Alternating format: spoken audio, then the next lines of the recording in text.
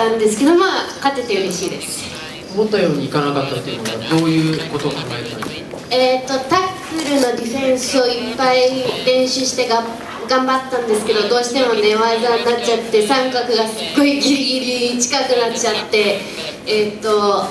負けそうなところをみんなに見せちゃってすごく悔しいです。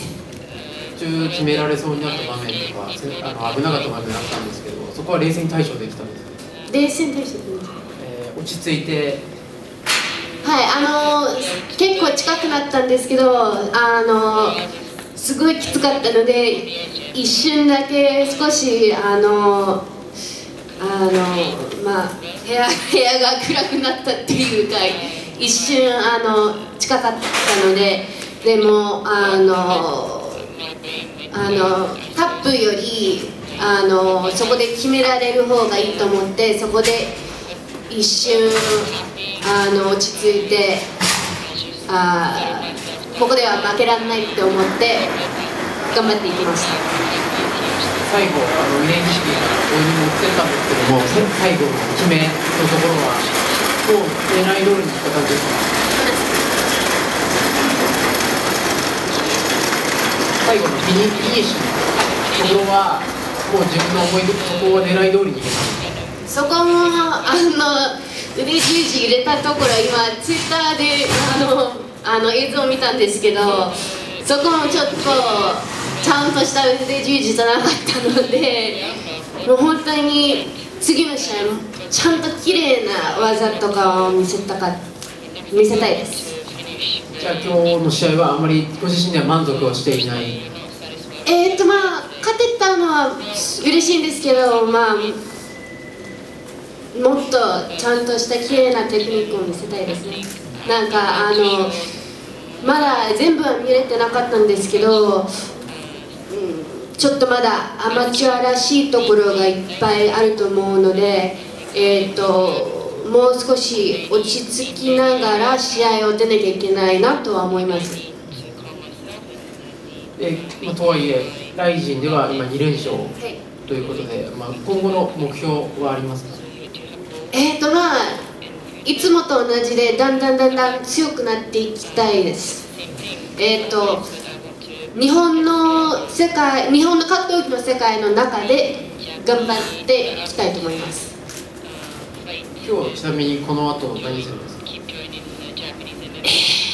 きっと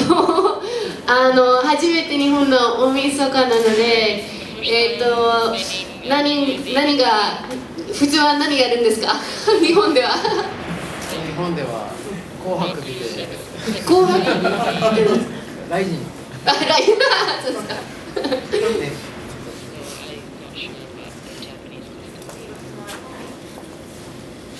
おめでとうございます。ありがとうございます。あの最後日本語も忘れてしまったっていうくらいあのあの前回の時も思ったんですけど結構荒っぽい感じがあのちょっと性格もあるのかなと思うんですけれどもあの最後のそのやっぱりちょっと序盤押されてですねあの最後こう逆転、えー勝ちというか、まあ、最後一気に畳みかけたような形で勝てたと思うんですがあの、まあ、その辺やっぱり冷静さあをもうちょっとあの冷静な試合を今後はしていきたいという感じですか？はい、そうです。ちょっと難しくなってきて、ちょっと言ってることが。すいませんごめんなさい。ちなみに日本では年越しそばというそばを食べる文化がありますそうですか。はい、おそばを食べるといいと思いますお蕎麦食べに行き、はい、はいお蕎麦食べに行きます。えっと、試合の途中であのかなりこうエキサイトして、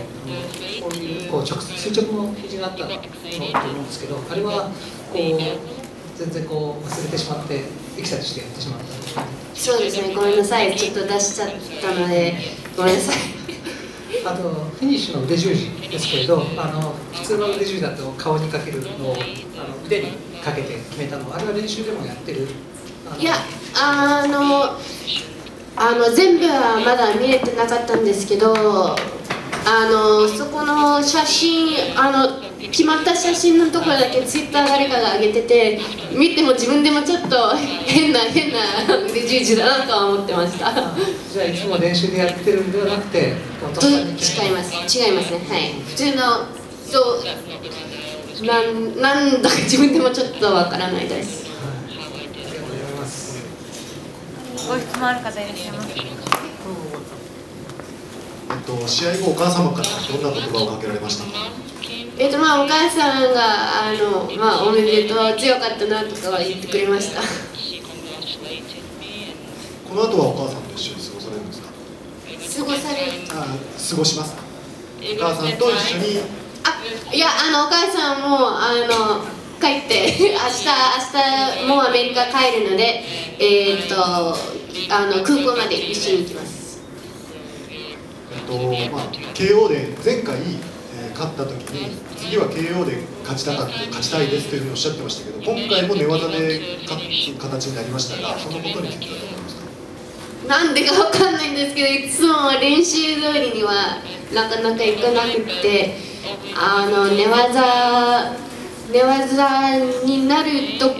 にあのグラウンドまで行くのをやめたかったです。きたくなかったです。でもどうしても試合中はあのプラン通り行かないので。本当は寝技の方が得意なんじゃないですか？えそんなことないです。ありがとうございます。ありがとうございます。ご質問あいますでしょうか There's a lot of questions for, for you today. Um, I try to be fast. First of all, uh, t- uh, congratulations for one more victory in his career. Um, tell us a little bit about, you know, your your boyfriend is there. He's a BJJ, a very, a very good uh, grappler, and what he can help you to improve your game because you you you pass a little bit dangerous, but you know BJJ people are still uh, adapted for that situations. And for for the audience, for the people who is still watching, hey, maybe she's gonna be a danger, but for you maybe not. Uh, explain a little bit about that for us. Yeah, um, I focused a lot on takedown defense for this camp, and I really wanted to keep the fight standing. Um, in my first match against Chelsea, um, I was winning the striking portion of the fight, and she was winning the grappling portion of the fight. So I definitely wanted to avoid going to the ground. Um, but I, I'm a little bit fuzzy because I haven't seen the replay of the fight yet. But I believe she jumped guard.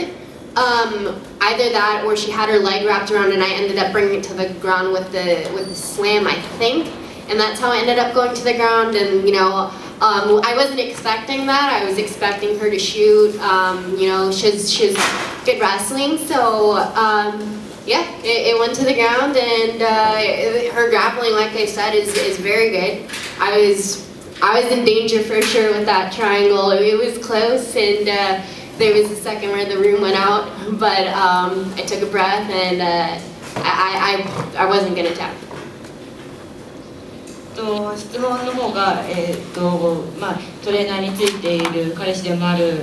人グラップラーでも有名なのでいろいろと助けもあの借りてるでしょうしその分対応力もあの上がってるんじゃないでしょうかっていうことだったんですけれども今日のあの試合に対しては、えータックルのディフェンスにフォーカスして、えー、と準備をしてきました。でチェルシーも前回も戦っていて、えー前回の試合も踏まえても打撃では私が上回っていたけれどもチェルシーグラップリングではチェルシーの方があの力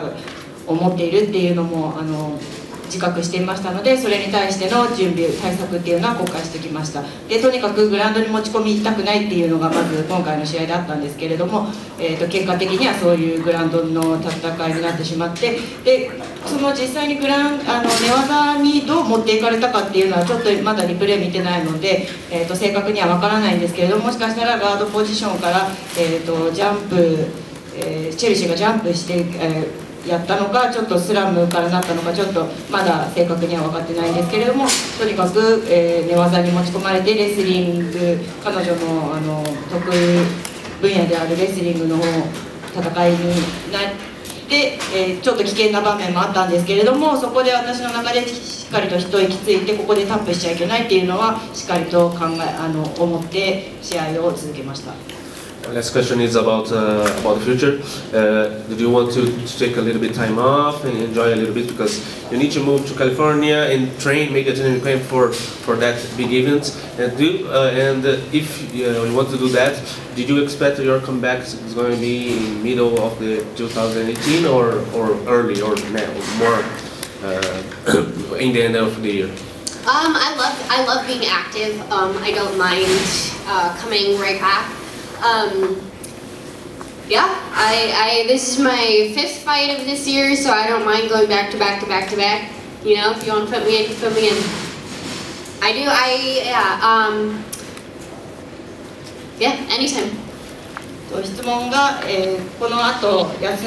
ちょっと休みなども考えてるんでしょうかってことでただ、えー2018年いつ頃戻ってくるのか半ばなのか年末まで来ないのかっていう質問だったんですけれども、えー答えとしては私としてはいつでもすぐにでもあの戻ってきて試合する準備はできてますで今年も今日あーこれで5戦目ですし私の中ではどんな連戦になっても、えー、といつでも喜んで戻ってきます他大丈夫でしょうか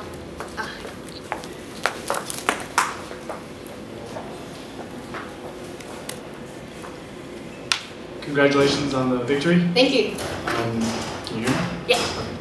Uh, you mentioned that you wanted to win by KO and you've been training a lot on that uh, you wanted to keep the fight standing. But does it give you any more satisfaction and confidence in your ground skills to not only escape a very dangerous submission, but to also finish the fight with a great submission? Um, well, you know, it, it's good. It's a win is a win, and um, but I did focus a lot on my Muay Thai this camp, and I wanted to showcase that a little bit more. Um, you know, it's always it's it's like a bittersweet thing that I couldn't implement my own plan, but I still got the win, especially in in in her wheelhouse. So that that is a cool feeling.